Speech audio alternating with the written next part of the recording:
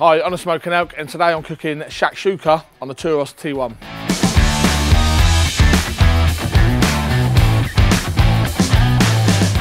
I absolutely love shakshuka. It is a great alternative to a full English for me for, for a breakfast. It's filling, it's delicious, a little hint of spice in there. It's absolutely glorious. So I'm going to show you today how I make my shakshuka. So got an array of ingredients here, got a few spices here, got onion, pepper and garlic. So the first thing I'm going to do is just get these finely diced. I want the pepper finely diced, I want the onion finely diced and I want that garlic crushed. So let's crack on with that.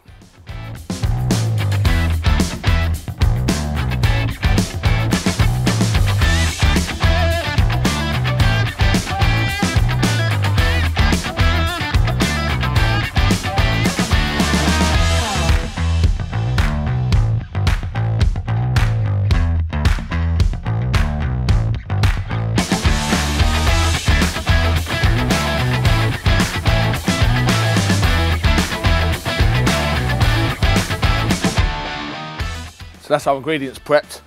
I've got the Thuros T1 with the new wok attachment here. I'm just gonna stick my pan on there, go in with a good glug of olive oil. And then what I wanna do is go in with the diced onion. So I'm gonna cook that down for probably around about five or six minutes. And then I'm gonna add in the red pepper, followed by the garlic, and then a couple of tablespoons of tomato puree and just cook that for another couple of minutes. So let's crack on and do that.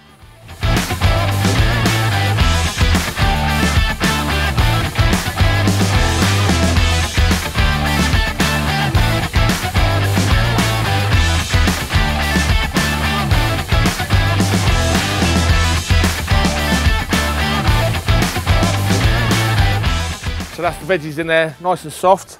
Gonna go in with that teaspoon of chili powder. This is a fairly mild chili powder. So around about a teaspoon of that. A teaspoon of cumin and a teaspoon of paprika.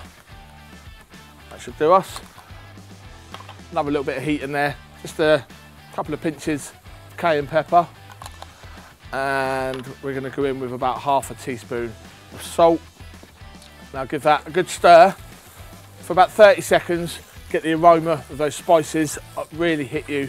Smells amazing already, but we don't want to burn the spices, so just literally 30 seconds like that. And then we're gonna go in with two tins of chopped tomatoes, bring them up to the boil, get them blipping away, and then we come back and build the rest of the dish.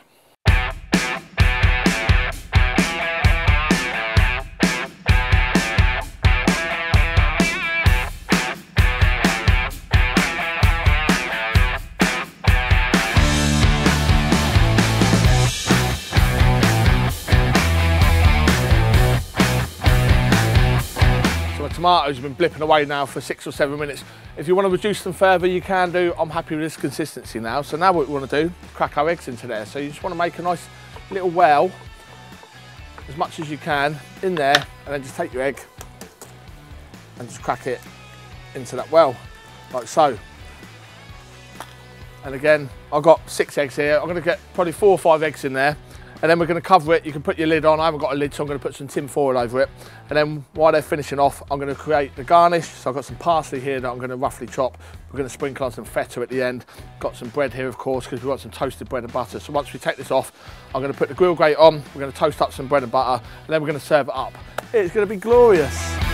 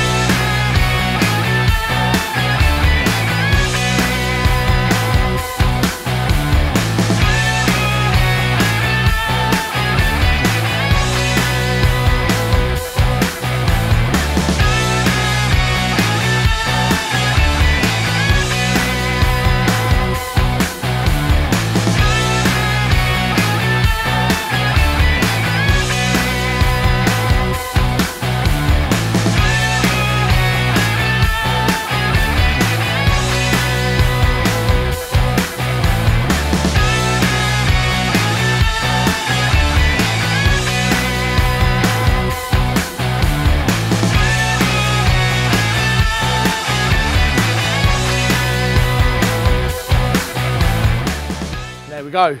Glorious, glorious shakshuka. Garnish it with that parsley, with that feta. We just toasted some bread on the grill grate on the Thuros. So this has all been cooked on there with ease, with minimal charcoal, and it looks incredible. So I really hope you'll give this one a go. This is a great alternative to a full English. Um, this is probably one of the only veggie dishes you'll see me cook and absolutely really enjoy. So on a smoking elk, that's my shakshuka.